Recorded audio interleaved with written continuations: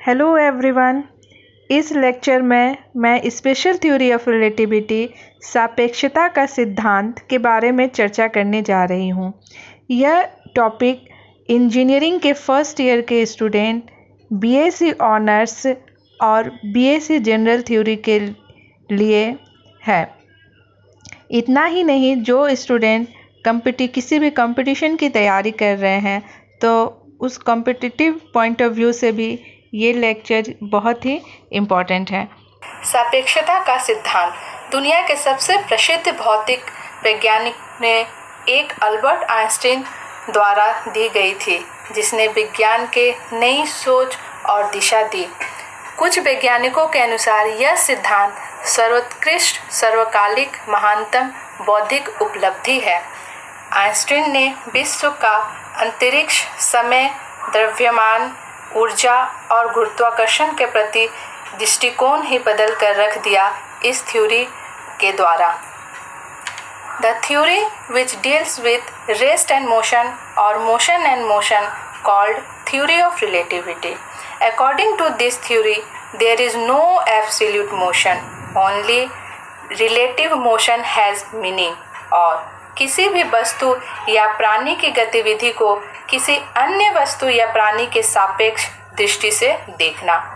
Theory of relativity can be divided into two parts special theory of relativity विशेष सापेक्षता का सिद्धांत, और general theory of relativity सामान्य सापेक्षता का सिद्धांत। स्पेशल थ्योरी ऑफ़ रिलेटिविटी जो कि 1905 में आया पर इनर्शियल फ्रेम ऑफ़ रेफरेंस लागू होता है।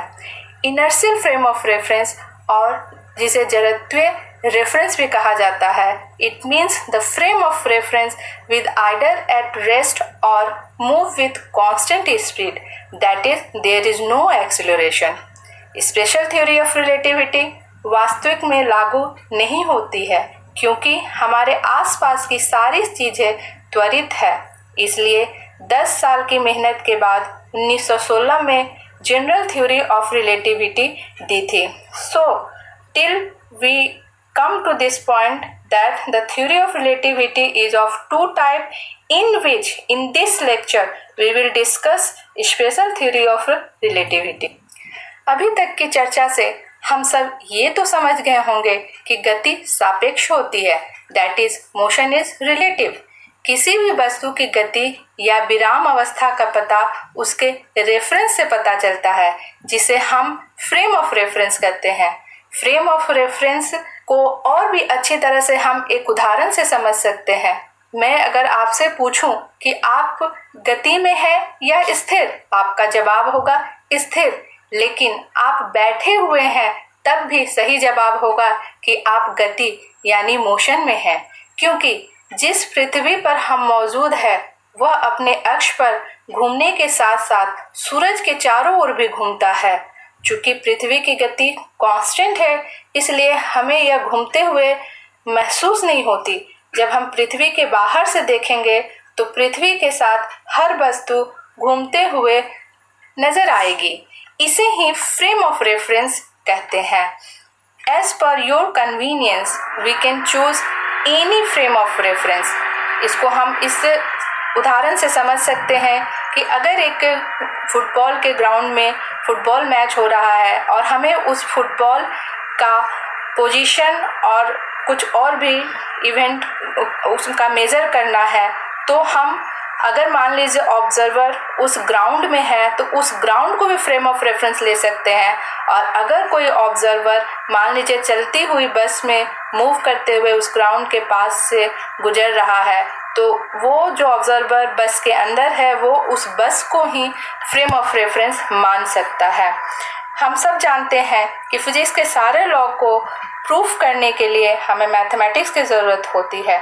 So this frame of reference mathematically can be defined as it is coordinate system with axis originated from a point called origin. This frame of reference for our convenient is divided into two parts. First is inertial frame of reference and second one is non-inertial frame of reference.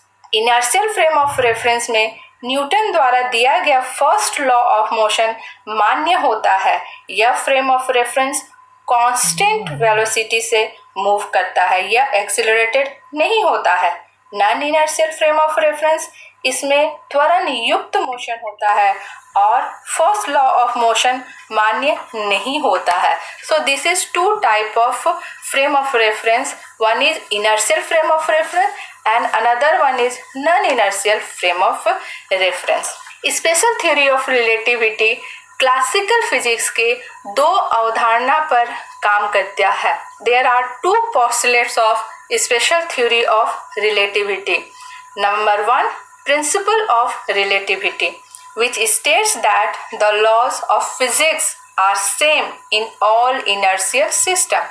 There is no way to detect absolute motion and no preferred inertial system exists. According to the first postulate, all the laws of physics dealing with electricity and magnetism, optics, thermodynamics, mechanics and so on will be the same in all reference frames moving with constant velocity with respect to each other.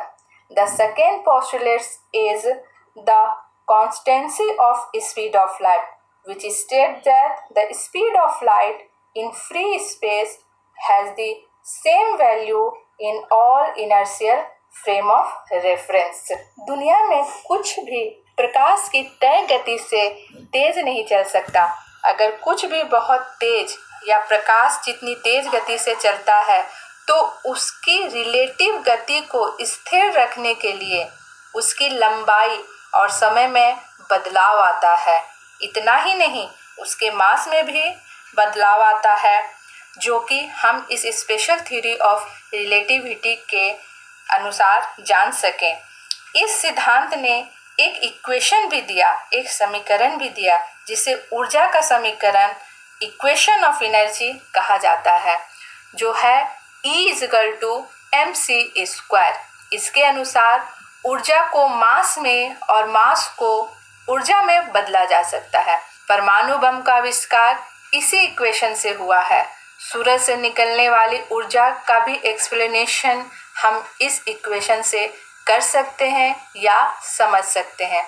अभी जो हमने, हम लोगों ने सुना time dilation length contraction मतलब कि time में बदलाव और लेंथ में बदलाव। टाइम डायलेशन मतलब समय का कम हो जाना लेंथ कॉन्ट्रैक्शन मतलब कि लंबाई का कम हो जाना।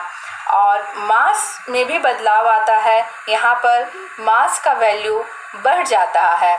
जिस अमाउंट से ये सारी क्वांटिटी घटती या बढ़ती है, उसका वैल्यू होता है under root one minus v square by c square where v is the relative motion between the frame of reference and c is speed of light in free space.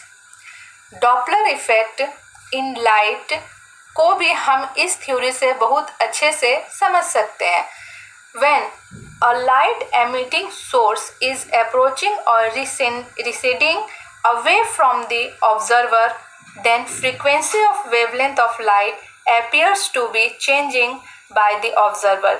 This change in frequency or wavelength of light is known as Doppler effect of light. So now up to this lecture discuss what is theory of relativity this theory of relativity is of two types, special theory of relativity and general theory of relativity.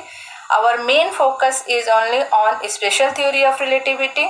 Under this special theory of relativity, we can understand how by increasing the velocity of any object, which is of course comparable to the velocity of light, how time is affected, length is affected, there is also variation of mass energy mass equation Doppler effect.